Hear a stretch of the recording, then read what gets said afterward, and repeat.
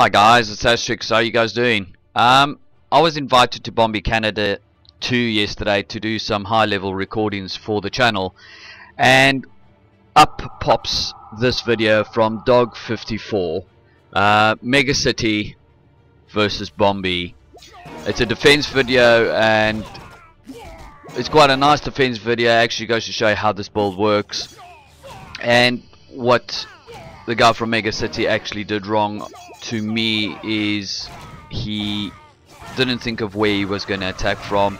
And it just goes to show you that you could be part of the highest clan in the world, but you do make mistakes, and mistakes cost trophies. Unfortunately, at this level, it's very hard to recuperate cups if you lose, if a battle goes wrong. Did nothing wrong. He lured out the heroes like it's normal. Uh, he did his witches, he was using the GoWi strategy which is the witches, wizards and golems. He dropped deployed the jump spells and I think when he thought they could jump over the walls it would have worked if they had jumped but the witches and wizards decided to go down and flank the walls. That did not help him, he was already in trouble there. Uh, he used a few free spells but by that time he realized that he really needed to actually get into the middle to get to Town Hall and just never got around to it with the Infernos and X-Bows hitting everything there. No way he was going to get through that defense.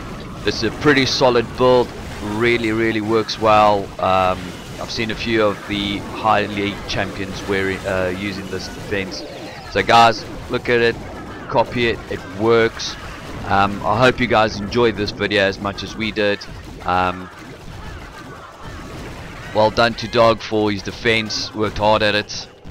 So if you guys like the video, please subscribe, share it, uh, and leave comments.